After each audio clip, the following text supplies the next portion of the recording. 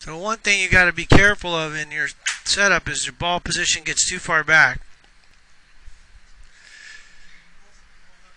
Yeah, you want the ball about another, maybe one ball forward of, uh, just inside your left heel.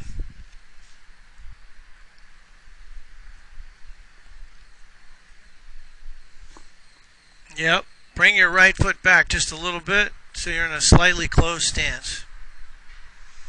And one of the things, Scott, here, if I draw a, a box in your hips, you got to turn your right hip. Don't sway. See how that hip gets outside the box a little. Turn that right hip. Don't let it slide. All right. Make sure you're letting that